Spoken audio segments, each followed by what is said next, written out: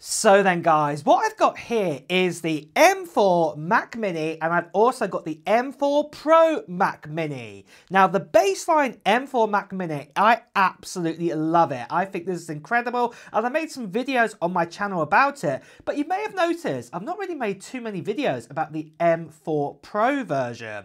And there's a big reason behind that, and that is I'm not the biggest fan of this device, and there's a big reason why I don't like it. And personally, I think there's a bit of a problem with Apple with selling this Mac Mini. Now, don't get me wrong, I absolutely love the form factor, like I said, of the Mac Mini and what it stands for and how it's changed now. I think this is brilliant. And also, I love the power of the M4 Pro. I'm not going to say the M4 Pro is terrible because compared to the M3 Pro, it is miles ahead, as you can see here in these kind of benchmarks that we've got right here. So the question is then, why don't I like the M4 Pro Mac Mini? Well, I'm going to tell you the big reason. It's all to do with the price of this device. It's the reason why I have a big issue with it.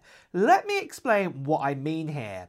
This Mac Mini right here costs 599 US dollars. Granted, it is the normal M4 inside of this. It's made up of the 10 core CPU and the 10 core GPU.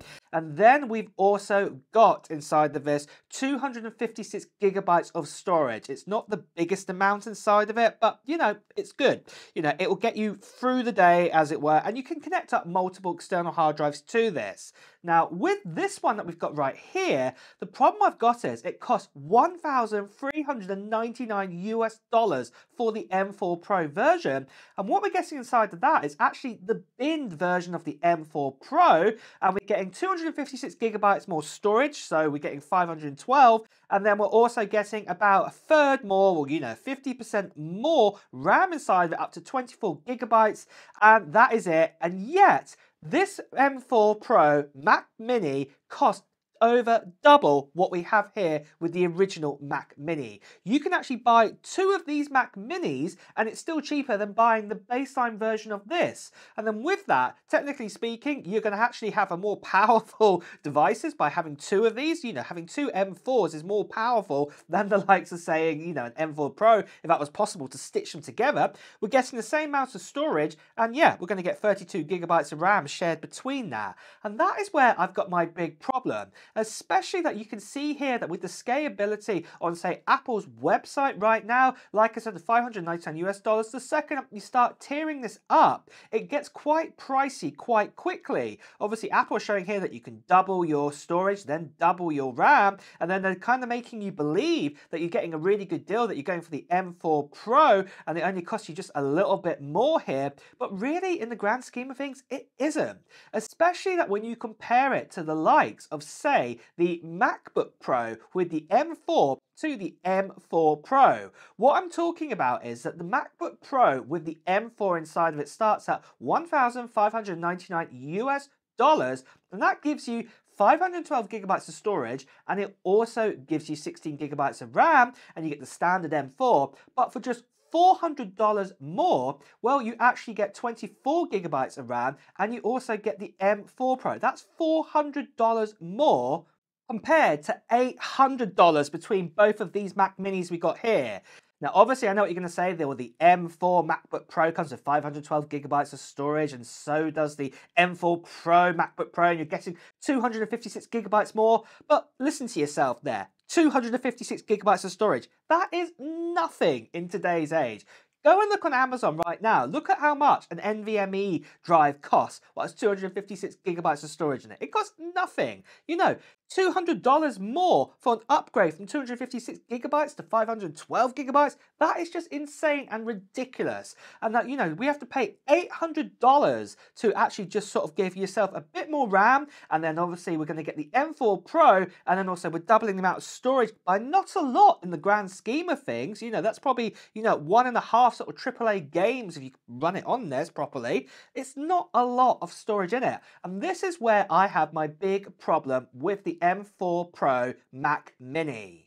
But there is one thing where I do not have a big problem with, and that is the giveaway that I'm doing on this channel for this. This here is an iPhone 16 Pro Max, and I'm giving this away to one lucky subscriber on this channel near the end of December time. And in fact, it's not that far away now when I'm going to be giving this away. It's going to be before Christmas time in 2024. And what we've got here is the Desert Titanium model, and this has 256 gigabytes of storage inside of it, the same amount of what you've got inside the Mac Mini, funny enough.